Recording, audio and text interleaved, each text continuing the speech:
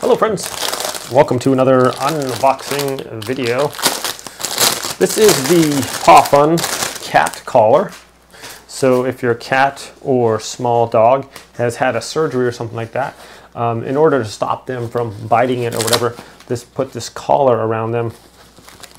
And this has this nice uh, Velcro here, so it puts on, that goes on easily and not difficult to take on and off. And then it also has this little drawstring so you can uh, make it nice and um, not tight, but enough on there around their neck so it doesn't, um, so they don't just uh, slip through it. So this portion is nice and it's a little bit rigid, but it's also soft and comfortable, and the thing doesn't weigh a whole lot.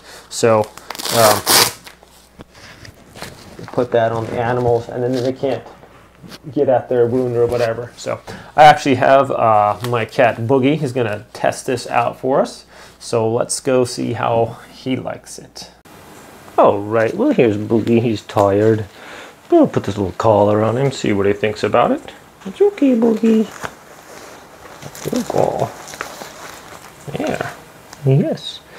And there he has it. You can snug it down on their neck too if you want and this will keep them from biting themselves or scratching if they have surgery or something like that and nice and comfortable for them.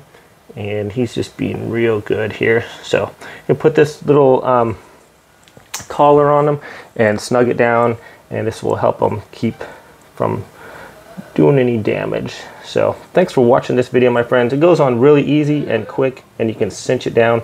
Have a great day and I'll see you next time